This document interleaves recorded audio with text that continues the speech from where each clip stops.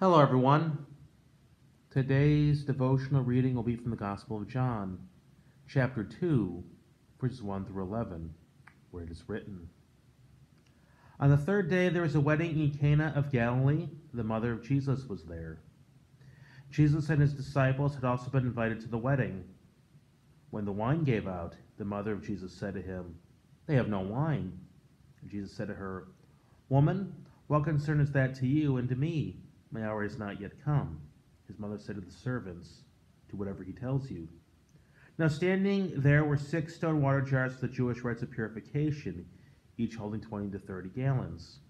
And Jesus said to them, Fill the jars with water. And they filled them up to the brim. And he said to them, Now draw some out and take it to the chief steward. So they took it. And when the steward tasted the water that had become wine, did not know where it had come from, though the servants who had drawn the water knew the steward called the bridegroom and said to him, Everyone serves the good wine first, then the inferior wine after the guests have become drunk. They kept the good wine until now. Jesus did this, the first of his signs in Cana of Galilee, revealed his glory, and his disciples believed in him. This is the gospel of the Lord. Praise to you, O Christ. Making a positive difference in the lives of people. That's Jesus Christ. It's not about, well, accept me as your Lord and Savior, so when you die, you won't go to hell. Well, yeah, that's true. but also, before you die, in this life, make a positive difference in the lives of others. They're both true. And we see the request of his mother. And something that really bothers me. Many people want to say, Oh, he rebuked his mother, saying, Ugh, don't waste my time. Uh, no. Woman, it's an English translation. It's like saying, Ugh, ma'am, in the South. It's a very respectful term. Uh, he respectfully addresses her like, Ugh, my time's not. Mother, woman, my time's not here yet.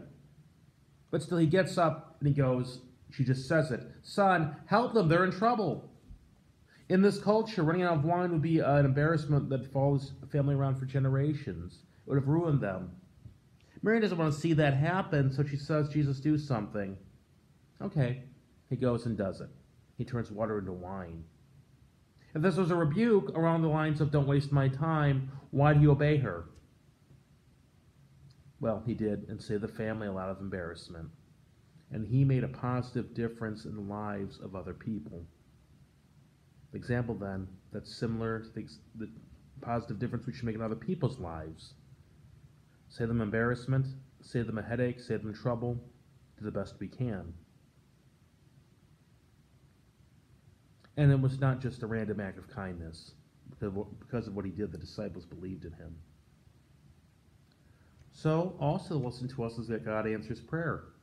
His mother said, Son, do this. Okay, he did it. He didn't have to, but he did it because that's who he is.